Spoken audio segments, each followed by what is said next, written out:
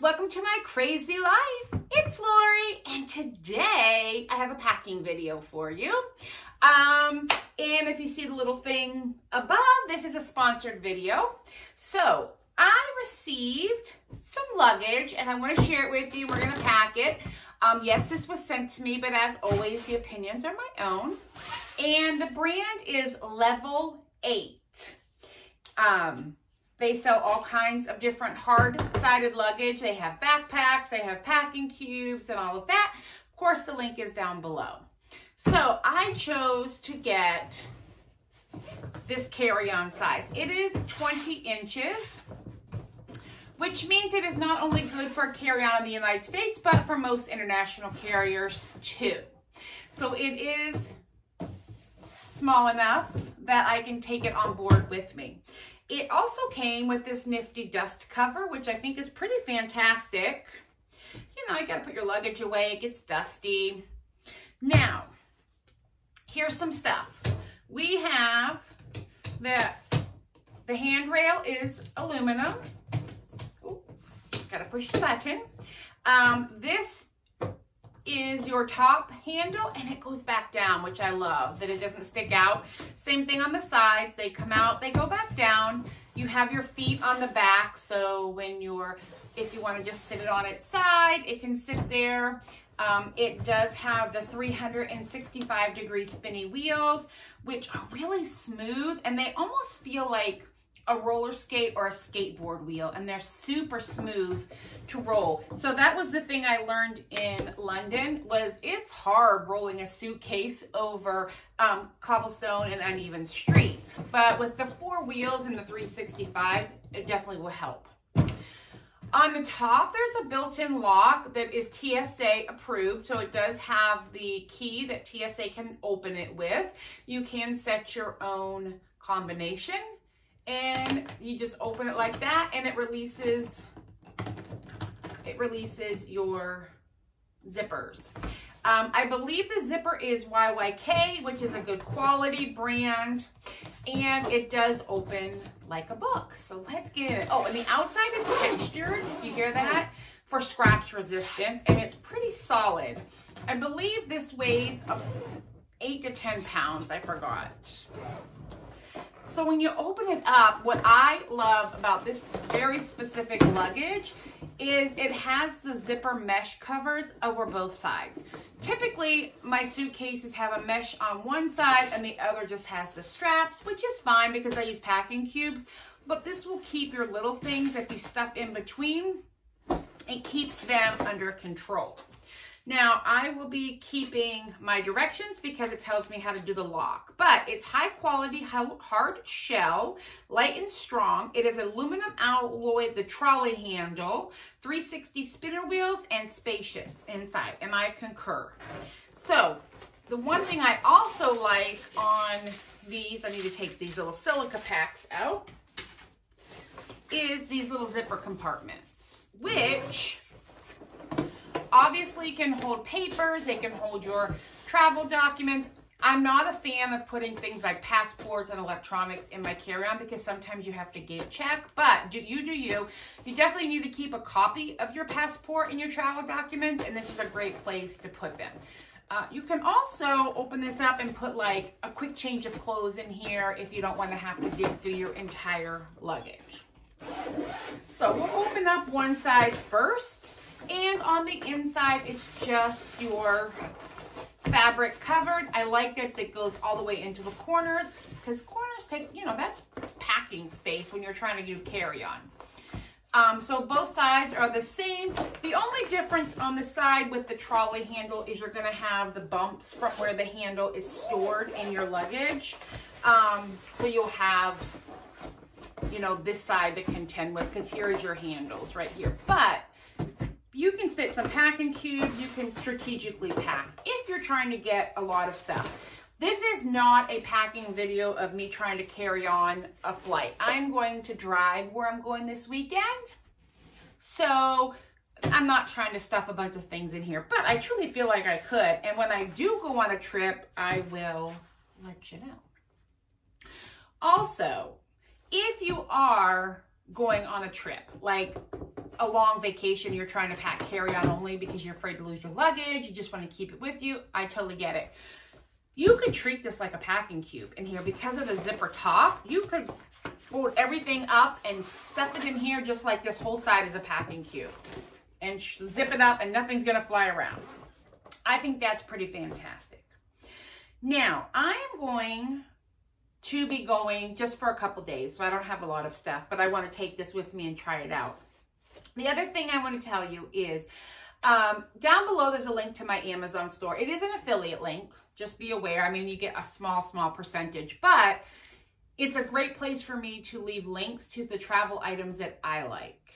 So some of the things here, or one of the things here I'm going to show you, I did order, or a couple things I'll show you. I did order on Amazon, and they should be linked in my store below under travel essentials. So if you click the link, it'll take you to Amazon and then you'll see all the categories. If you look under travel, you'll find some travel stuff that I think are great buys to have when traveling. I may not be using most of it today, but it's there. So to start off with, it's just my toiletry bag. I keep, pretty much keep this packed. However, I do want to get a new one. This one is a little heavy and I don't need this much stuff. But it's been packed since my trip, but it fits I mean, it will fit right in this compartment, right? So that's good. Ooh, let me go this direction with it. So that fits right in there. Obviously, if I was trying to go packing light, this would not. I would not be packing this because there's a lot in here, but that's okay. And I'm not packing like my medications and stuff because I'm still taking that, but that will be a later time. What I am packing and is on my list, and I just bought this, and it's on sale, is an Anker power bank. Now this is, I mean, this is a substantial power bank. I would say it weighs more than a pound. Um, it is rechargeable. This specific one is a 21,000, 20,100 MC something, something, something, something. So it basically, it will charge my cell phone multiple times. It can charge my uh, rechargeable light that I need when I take crafts places. It'll keep this running for more than a day, which is important. For me, it would also keep my laptop running for, you know, a few hours. So, and that's a MacBook. So this is a great thing to have. Now, I wouldn't take it if, if weight, you know, I wouldn't necessarily take it if I was not going somewhere that I think I would need it because it does weigh a fair amount. But this is linked. It comes with this bag and its cord. It does take a little bit to charge, so it will be something I would use during the day and charge up at night. Great to also have in your car for emergencies and will be a great Christmas gift. For anybody who's traveling in your life, that is good. I also will be packing one of these. Um, these are just face wash, face washers. It's like a fleece material. Um, it's 100% polyester.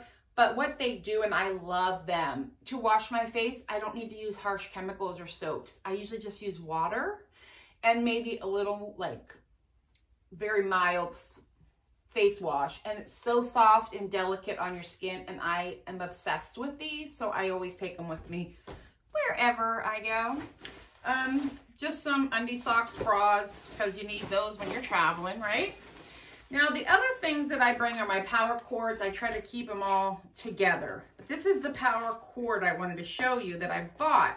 If you have an Apple Watch and an Apple uh, phone like I do, this is one cord that can charge them both, which I love. It was perfect in England.